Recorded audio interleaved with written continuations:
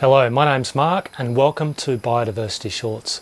Now we're going to do some bird watching today, but first I want to show you something called eye stalk ablation. Now imagine for a moment that you are sitting down and you've got a big bucket of live prawns in front of you and you're scooping them out and picking them up one by one. Eye stalk ablation is the removal of one or more eye stalks and this is done to the female prawns in order to make them produce their eggs in captivity and to make them produce more eggs than they normally would. No one's sure why this works, but it does work.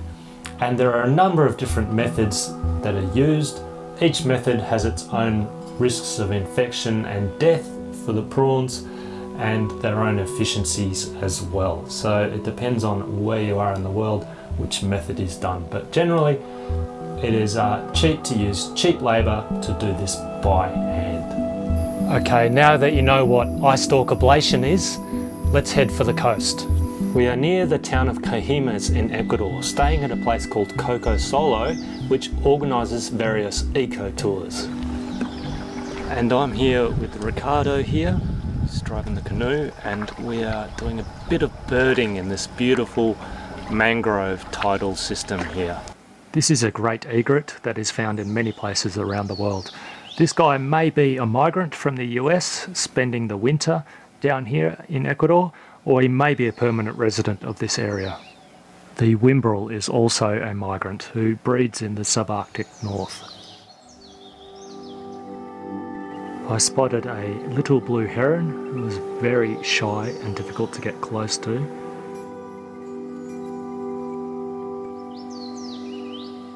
These cormorants weren't too bothered by our presence. The fact that there were two of us in the canoe and we were being very quiet and slow moving allowed us to get relatively close to these birds. I didn't have a very long lens and all this footage was handheld. This here is the rufous-necked woodrail. You can see him flipping over leaves to get at the insects underneath. I was very lucky to see him, even the guide was very excited to see him, and they haven't done too well with habitat destruction here in Ecuador. They have been sighted in New Mexico as a new species and it recently caused a big storm with the birding community in the US there. These little sandpipers were also very entertaining to watch. We would just let the canoe drift very slowly towards them and we could almost get on top of them. And when we got too close, even when they were running away, they'd still be eating on the move.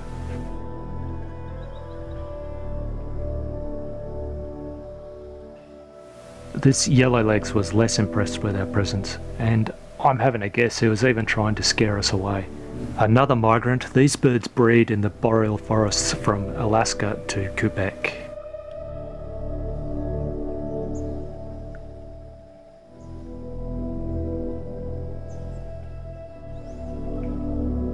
This grey plover is an extremely long range migrant and he breeds in the northern coasts of Alaska, Russia and Canada.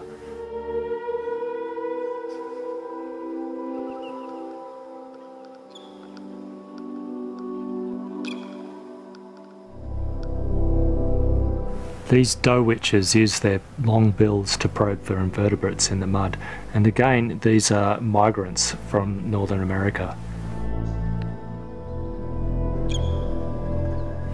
The breast meat of the yellow-crowned night heron was apparently considered a delicacy to the people in Louisiana, but of course now it is illegal to hunt these herons. I was lucky to get this shot of him actually making a kill, catching a small fish there.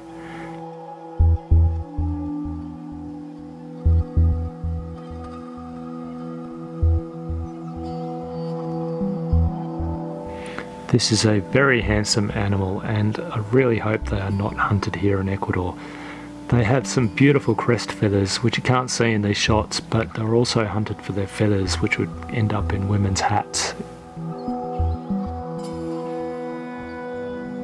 Finally I spotted this Cocoi heron which is one of the few permanent residents which I spotted while on this little boat tour.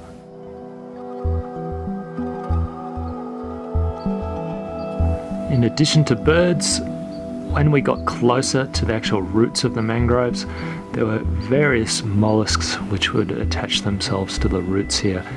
And there were also barnacles on some of them, but a lot of the roots were covered in a really black, slimy stuff. I don't know why these particular roots here are actually clean, but underneath most of them there were barnacles everywhere.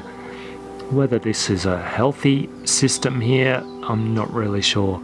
There also were a couple of types of crabs. We spotted hermit crabs in those same shells and this uh, very conspicuous red-clawed crab which was running around the branches. Now this is where I get back to prawns and shrimp. This dam here is actually put for a shrimp farm and if we have a zoom out we'll switch to Google Earth here you can see that this whole area is basically a gigantic shrimp farm with lots and lots of ponds all over the place. Unfortunately, mangroves are in the perfect terrain to have very large shrimp farms. And this has destroyed a lot of the mangrove forests, particularly in Ecuador and also all over the world. And if they're not taken over by shrimp farms and shrimp farming, even in the Western Australia, there are big areas of mangrove forests that are being taken over for residential purposes. Mangrove forests are also an excellent natural protection against tsunamis. As for the small amount of mangrove forest left here, I believe the only reason it hasn't been cut down is because it provides protection for the actual shrimp farms themselves, and without them, the tidal action would actually wash the shrimp farms away.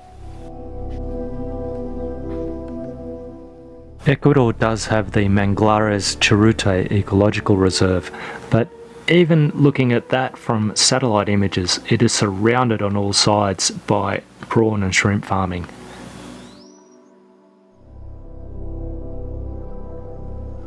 And also under the water, these areas are very important as the breeding areas of many species of locally mangrove dwelling fish and also ocean going fish as well. Okay, I hope that next time you go to buy some prawns or eat some prawns, you'll think about where they come from and what impact they have on the environment. This is Biodiversity Shorts and I thank you again for watching and if you'd like to watch some more videos, I've got my previous videos here. There's one on woodpeckers up here and there's another one on ticks up here. You can click on those to watch those. And if you would like to see more, please click below to subscribe. Thanks again. My name's Mark. I'll see you next time.